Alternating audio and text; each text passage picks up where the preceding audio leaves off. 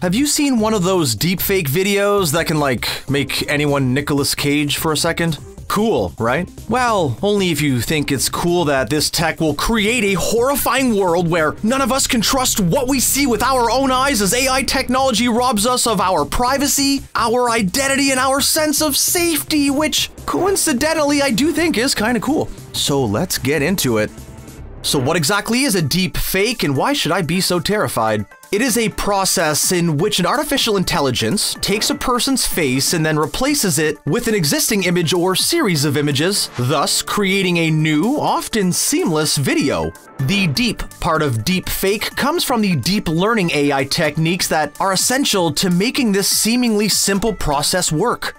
There are two primary and two machine learning models at work here. The first creates these video forgeries from a set of given videos. The second one then tries to tell if the forged video is a fraud. If the second one cannot tell that the video is fraudulent, then boom, hey, you have got yourself a deep fake. What's super impressive about this technology is how quickly it spread, how easy it is to use, and how cheap it is. You can find software that can do deepfakes online for free, along with many more mainstream services that make pretty incredible deepfakes for prices as low as $29 a month. All in all, you could create a deepfake video in 4 to 5 hours. The process can be pretty in-depth uh, depending on the video you're using. For instances, if you do a video that features multiple people, you will want to block out the faces that you don't want to replace. If you want to use your own face, you might have to film yourself for upwards of 20 minutes to get enough angles for the AI. That, or you need to find as many images of the person's face you're looking to use from as many angles as possible. That might seem like an annoying amount of work, but compared to the expense and time it takes to make a CGI model of a character, especially without motion capture, then there's no contest. This could be the coolest innovation in video tech in the 21st century. Well, so far. Of course, this could radically reshape the world by eroding our trust in the news or in our own personal safety. Though none of that has to do with how this will affect Star Wars, so let's start with that. Before we go to a galaxy far, far away, it'd be really great if you could just take a second to like and subscribe. I'm sure this very real Elon Musk would be happy that you did. The most obvious use for this tech is in Hollywood. I mean, this kind of thing happens all the time without deepfake technology. Everyone from Disney to Scorsese to Disney and heck even to Disney has been digitally editing performances, de-aging actors, or straight up resurrecting deceased actors using CGI.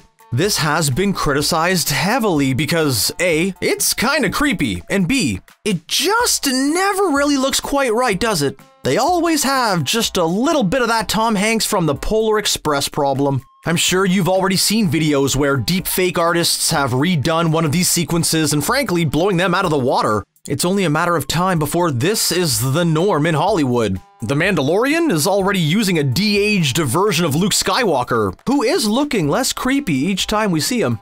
There are good chances that we will see more deceased actors like Sir Alec Guinness or Carrie Fisher. Deepfakes don't just replace people's faces, but can use the same kind of technology to replace voices as well. The tech can replicate unique cadences of a performance using another performer's voice. In fact, the show Obi-Wan Kenobi already did this with the most famous voice in all of Star Wars, Darth Vader. While that show featured the final performance of James Earl Jones as the voice of Vader, his voice had changed considerably since the original trilogy. They actually mixed his performance in with samples of him doing the voice from years earlier to give it that robust, terrifying Vader sound. As much as these movie companies like their own technology, deepfakes seem to be the future, whether Hollywood likes it or not. And some people really do not like it.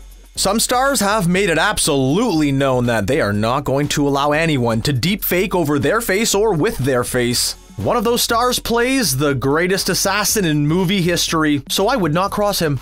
Keanu Reeves recently revealed in an interview that he's terrified of where AI is headed as far as the movie industry is concerned. He's still angry from when a director decided to digitally add a tear in one of his movies. He thinks that this makes performances inauthentic and invalidates the entire job. It is explicitly stated in his contract that no one is allowed to digitally alter his face in any way without his permission. Turns out that Keanu Reeves had every reason to be afraid of people stealing his face, but we'll get to that later. As scared as he is, Politicians should be much, much, much, much more terrified. There are all sorts of nefarious uses deepfake technology could use, but perhaps nothing more potentially damaging than impersonating a world leader. Take, for instance, when European politicians were duped into deepfake video calls with who they thought was the mayor of Kiev. The conversation he had with several other leaders went on for around 15 minutes before they caught wise to the ruse. That's pretty shocking. There have also been several videos floating around online of politicians saying inflammatory or scandalous things. While 9 times out of 10 they are quickly dismissed as pranks, some people online are quick to believe anything, and that can be very, very dangerous. It would be easy for a rival politician to share this video, give it credibility, and then that train goes running before anyone has a chance to stop it. That kind of thing happens all the time without deepfake tech, so it definitely would not help the problem. There's also the flip side of this issue. If a politician could be deepfaked into doing something scandalous, then anytime a politician is caught doing or saying something legitimately scandalous, they could just simply blame it on deepfake technology. Right now, deepfakes aren't quite realistic enough to hold up to scrutiny over time. Most videos have at least a few frames where you can tell something's off. Humans spend most of our time studying faces for even the slightest change for our social development, so we are highly aware of when something is off. If that doesn't work, there is also technology that can quickly figure out that the video is not real. Now that might not help you. If Keanu Reeves calls and asks you for money, you might want to believe that it's him. With every leap forward in the world of technology, there is an equal leap forward in the world of scams.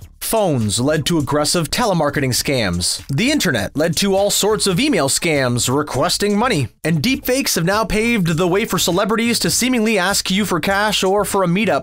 Evidently, there have been examples of a deep-faked Keanu sliding into people's DMs and proclaiming his undying love for them. Some may have fallen for it, but other people just simply reported it. Banks even warned of Keanu Reeves trying to defraud senior citizens. Add this to the series of advertisements and internet scams that have come up in recent years where someone famous tries to grab your money. So, you know, in general, if a celebrity suddenly falls in love with you, don't believe it.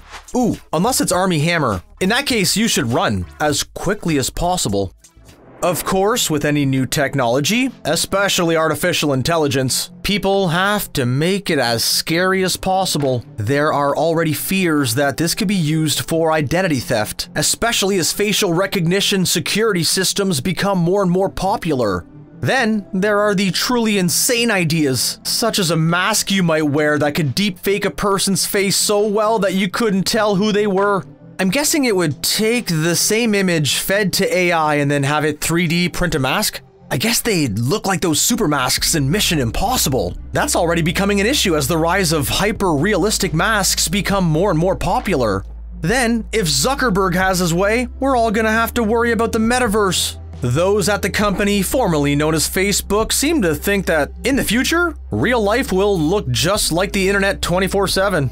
We then might have to worry about live deepfakes that could be used to impersonate other people in real time. As scary as deepfake tech is, there are some really positive ways that this innovation could change the future that don't get quite as much press.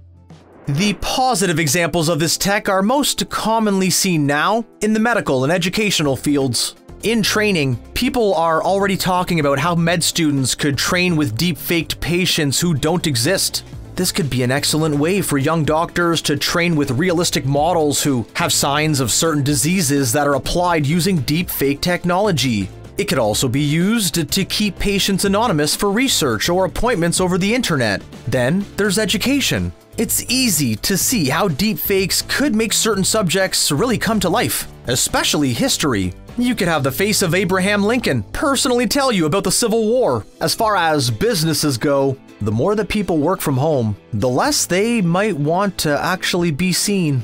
A deepfaked avatar would prevent you from having to get made up for a virtual meeting, though I'm pretty sure those meetings would just be 13 people who all just looked like Keanu Reeves. I'm just excited for the inevitable day when we get those cool deepfake masks. No offense, Keanu, but I am 100% gonna walk around town like I'm John Wick and you cannot stop me.